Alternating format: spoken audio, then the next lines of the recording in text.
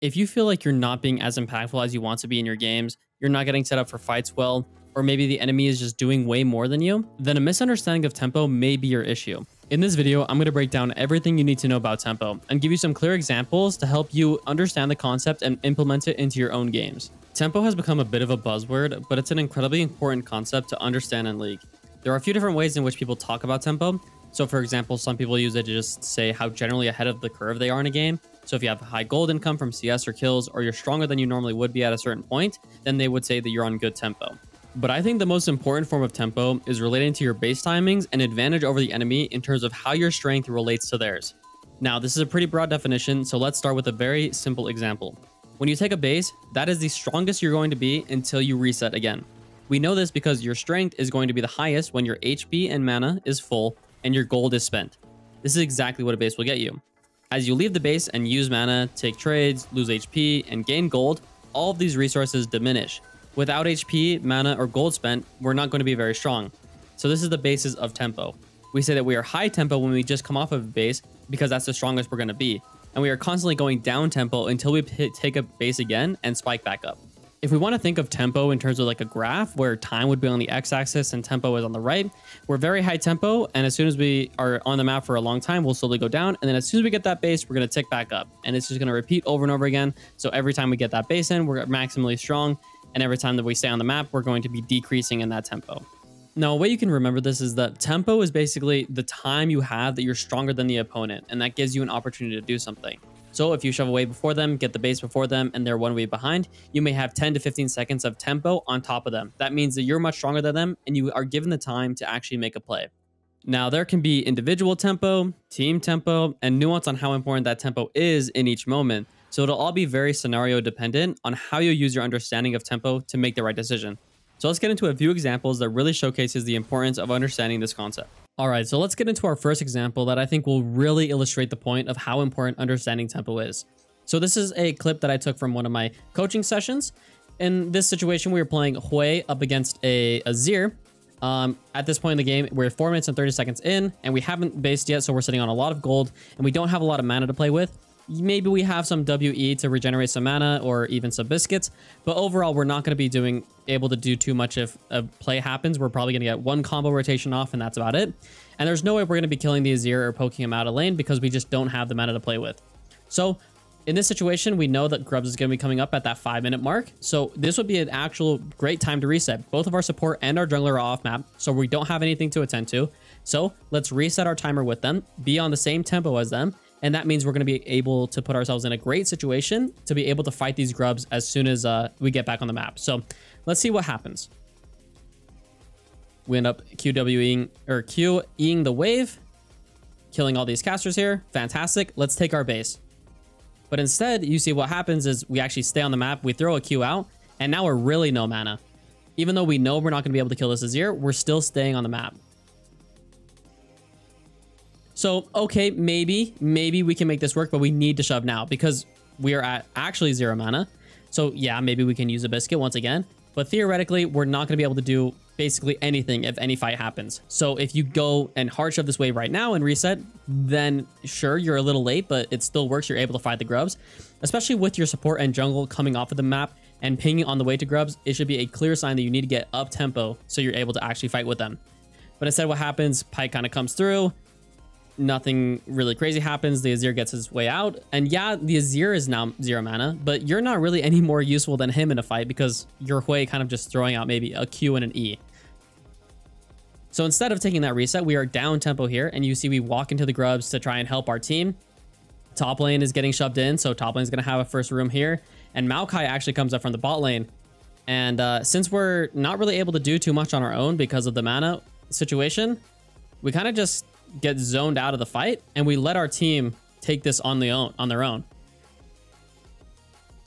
And you see, the only reason this is actually working out, we can imagine a different situation where instead of Azir staying for this wave after, he would have gotten reset, and that means his tempo would have been reset, and he can TP back in, and he's going to be way stronger than you, and then the fight's really bad, when you would have had the tempo advantage had you just taken the base earlier on.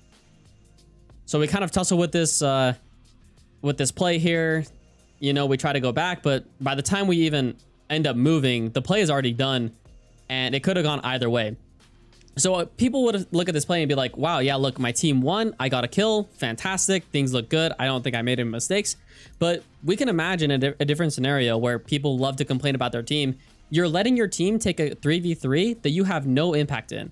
So do you want to take a 3v3 coin flip and pray that your team wins? Or do you want to guarantee that the play is won by taking a 4v3 where you're up tempo and strong and have all of your gold spent and your full mana? I think that second option is much better and more guaranteed. And this is why people feel like they have no impact in games is because they put themselves in scenarios like this and then their team loses the game and they wonder why their team's taking bad plays. Is because you didn't set yourself up to be able to be high tempo on timer with your team so you can take the fight advantageously. So going back to the beginning of this play, what could have given us the signs that we needed to reset and get our tempo back up? Well, first of all, the fact that we're no mana means that we're not going to do much in the lane until we get that reset. We haven't reset and don't have the TP we know the Grubs is going to be coming up at 5 minutes, and both of our support and our jungler are going to be going for this reset here. So this is all great signs to say, okay, I can get on the same timer, the same tempo as my team. By taking the reset, I can replenish the resource and make sure I'm in a winning position for my lane for the fight that's going to be coming. So with that knowledge, we would shove this wave instantly and then get our base, and that makes it perfect. We're in sync with our team, and this actually means that Azir is going to be one step behind because if you would have shoved this wave first, TP'd back, you're actually first to hit this wave, and that means you're first to move. And this is the advantage that tempo really gets you. So getting into this next example here, I want to showcase the importance of having good tempo when it comes to these mid-game neutral objectives, so things like the Dragon and the Baron. These objectives can be dictated by who has the setup first and who has the control of the vision and the chokes. Now, because this is so important, we need to make sure that we are in good tempo to set up before the enemy and give us that advantage. So in this game, I'm playing Taliyah and I'm not doing too hot. I'm 2 and 6 and this Qiyana has kind of been rolling. So it's very, very difficult to deal with. But this objective is coming up in one minute and my team makes a fantastic play on the Qiyana, which means that she dies. So knowing this, I know the Qiyana is down tempo and I have the opportunity to try and get some setup here. So I instantly TP into mid and I use this to clear the wave. And while this is happening, I want to get into the dragon. So I'm pinging danger to show that maybe they're walking in here. So let's be a little bit careful. And Lee Sin is going reset. So keeping this in mind, I'm waiting for my team to get in a good position to help me out. What I'm going to do is I'm just going to kind of take in this mid wave, all fine. And at this point, we see three people topside. This means the dragon control is completely ours. So as we do this, Karma walks in. She's doing a great job getting vision first, which I think is awesome. So I'm going to follow her up. And this is exactly what Taliyah and a lot of control mages thrive on is playing in this fog of war and trying to find picks. So what I do is I use that tempo to kind of ping my team and say, I want to all in and try to find a pick here. Unfortunately, maybe my team is on a great uh, timer because Yasuo needed a reset for an item that he was wanting and Lee Sin took a base a little bit late. But I understand why this happened. I think that it's still okay for me to set up because we saw three topside and this is why I'm going for this play. And of course, I have that great setup. Rengar just walks completely into me. And even though I'm 2 and 6, I actually find the pick that is going to guarantee us this dragon at the very least. And it ends up getting us 2. So this is how important understanding tempo is. Qiyana got killed on that bot side, and that was a huge mistake by her because that means that she's late for this objective. And I use that tempo to get in first, and I catch them off guard. Now, while this is primarily from a mid laner's point of view, I want you to think that this can be applied to anyone. Karma did a great job because she got a perfect reset in or she was dead or whatever. She instantly came off the map and then set up with me on the vision because she knew that she wasn't under threat because of the people we saw topside. The same thing goes for ADC. You're going to be basically doing the same thing as a mid laner, making sure that you get into mid and can help your team or whatever. And jungle, of course, is kind of the same thing as support. But you should definitely be thinking about this as a top laner as well. If you're a top laner that actually wants to join team fights, maybe especially later into the game, you should be thinking, okay, how can I shove my wave to make sure I lose as little as possible, get a good reset, and I can actually move with my team to help them on this play.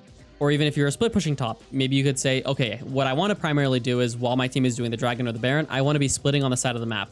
So if I know that, I need to be setting up a minute in advance to make sure that I'm actually pressuring the enemy team to make a decision between me or the objective when that objective comes if the dragon's spawning right now and you're barely moving up uh, on your side lane and you have no actual tower to pressure, you're not actually going to be using a lot with that tempo and it's not going to be helping your team.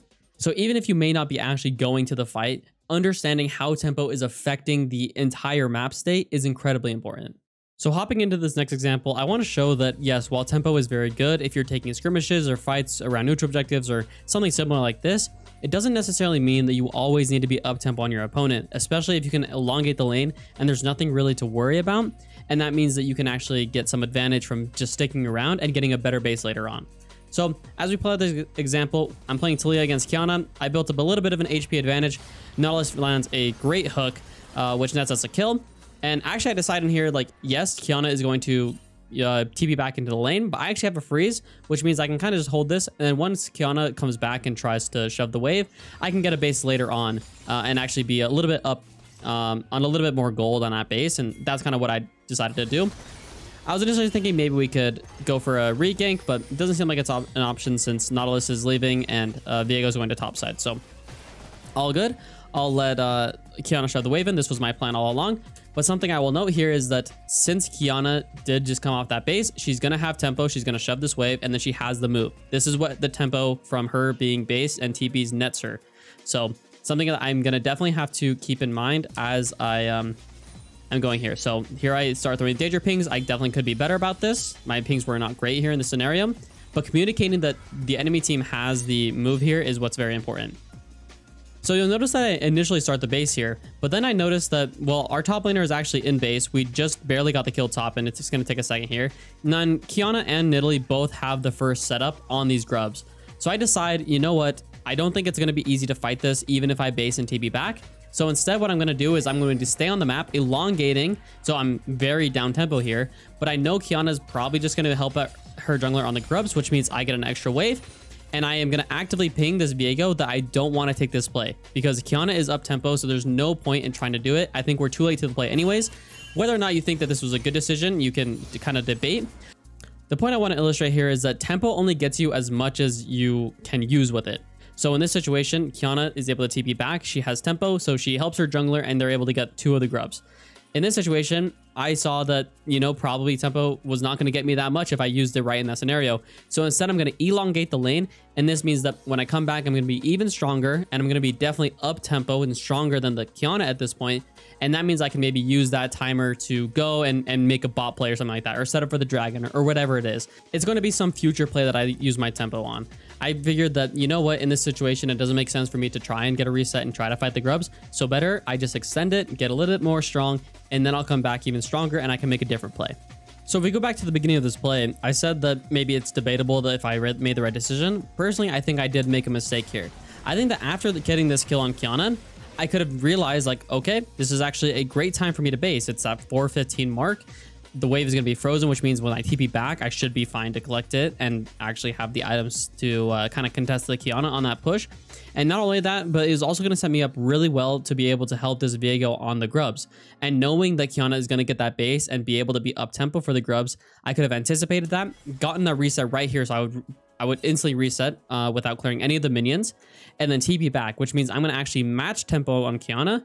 and then we can take this fight with the Viego that's obviously strong and wants to fight. I think that would have been a better decision, and that only comes about if I understand how tempo actually plays a role and how Qiyana was able to make a play even though she was the one that died.